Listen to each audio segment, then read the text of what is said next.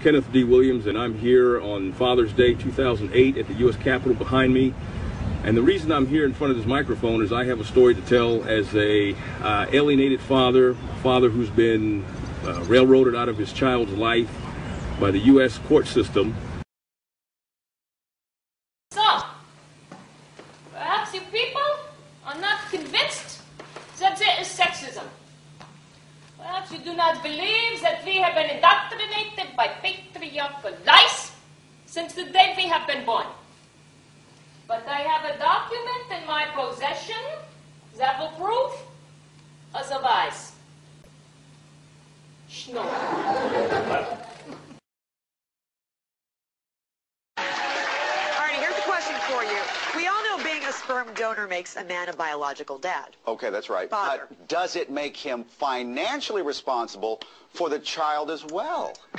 For Jana Mins and Deborah Morantz of Santa Fe, New Mexico, Kevin Zernig was their man. In 1994, Jana gave birth to a boy. According to court documents, the lesbian couple and the donor dad came to an agreement. The women would be primary custodians of the child, but Kevin would serve as a male role model, and he would not be financially obligated to support the child. But within months, the same-sex partnership broke up. And in the aftermath of the split, Jana kept custody. She and Kevin stayed friends, and he even fathered a second child for her. But for the last eight years, Jana and Kevin have been involved in a court battle. A bitter dispute initiated when Jana suddenly sought child support payments from Kevin for both children. He argued, in part, that he was not required to pay any child support because he was a sperm donor. Jana felt Kevin was both sperm donor and doting dad, and as such, obligated to pay child support. So how did this legal drama end? The court ruled that because Kevin has taken an active role in raising the children, he is liable for child support.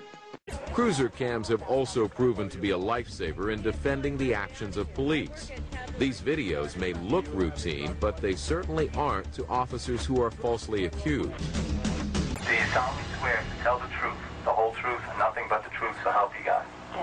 She accused him of taking her out of the car, frisking her, sexually assaulting her, and placing her back in the car. When I stepped out of the car, he proceeded to frisk me on the sides, pat me, uh, pat me on my chest up here, and then he fondled my breast. I believe it was fondling. I don't believe it was frisking. He patted me on my stomach all the way down, and over my dress, he caressed my vagina. I feel very, very, very violated. What if I told you that I've seen the videotape of this incident in its entirety from the time that you were stopped to the time that you left the scene? Would that change any of your statement that you just told me?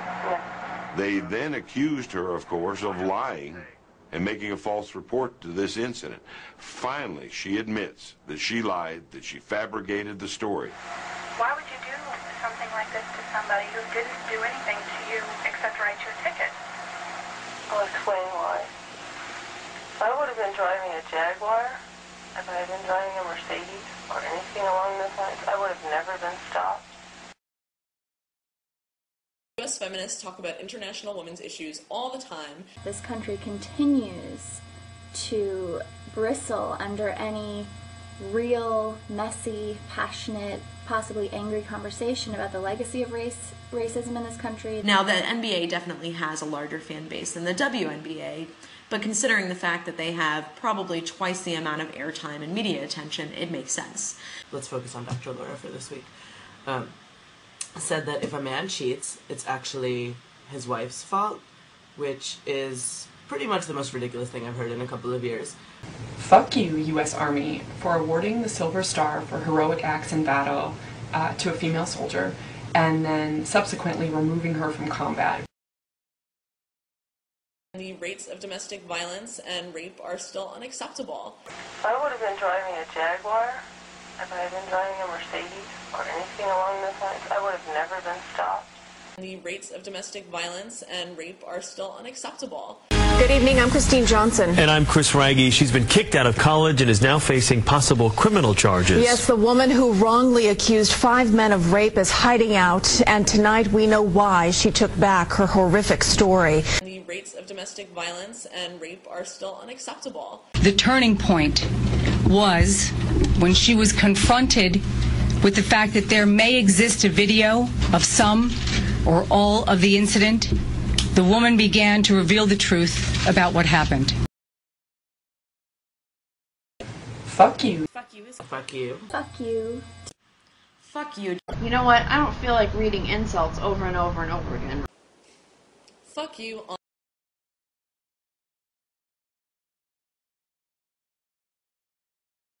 Uh, we're here to promote an awareness of fathers' rights in this country, or the lack of fathers' rights, I should say. Nine years in the in the family court system of Fairfax County. This is nine years of my court documents in this large three-ring binder. The injustice, the humiliation, the degradation. Uh, it was just mind-boggling for me. My name is Marsha Maines. I'm here today to speak about Shafted Shadwell, a young boy at 16 who was pursued by a local sexual predator.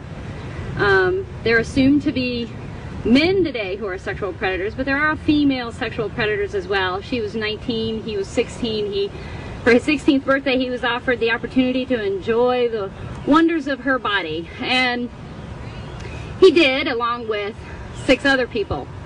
And when he turned 18 and he became of legal age, she decided that he needed to marry her because she was a good Southern Baptist girl and her daddy expected her to marry anyone that she brought home to meet the parents. He refused and a couple of months later ended up becoming a father and was told that if he didn't marry her, she would do everything in her power to ruin his life forever. Um, here we are almost 20 years later. He's on his fifth incarceration by the DCSE of Virginia. They have falsified documentations. Uh, she has submitted falsified information under oath and then testified in direct contradiction to those statements under oath in court. Um, what I'm really here about today is talk about child support and how it is the my belief, the purpose of the federal government and the state government's job, what they are trying to do is create a new form of slavery or institute a new state of peonage. And they're using non-custodial parents to do this. The Declaration of Independence states, we hold these truths to be self-evident that all men are created equal, that they are endowed by their Creator with certain unalienable rights, that among these are life, liberty, and the pursuit of happiness.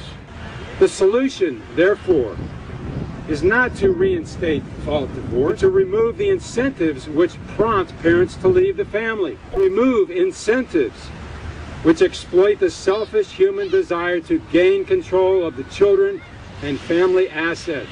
Remove federal policy statutes like VAWA, Title 4D, Social Security, which promotes sole custody for mothers.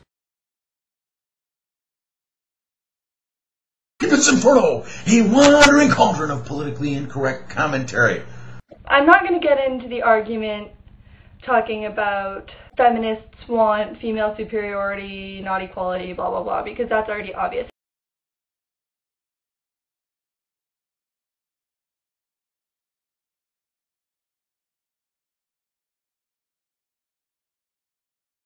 No charges will be filed against the 34-year-old woman and a 14-year-old girl who police say falsely claimed they were raped.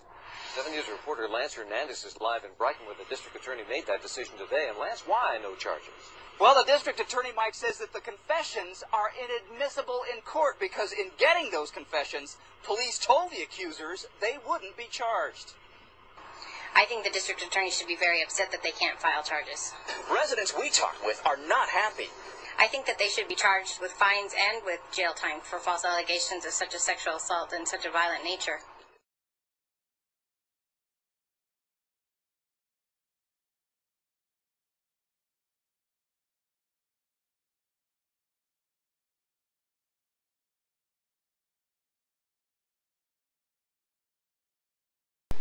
Fix it or fuck off.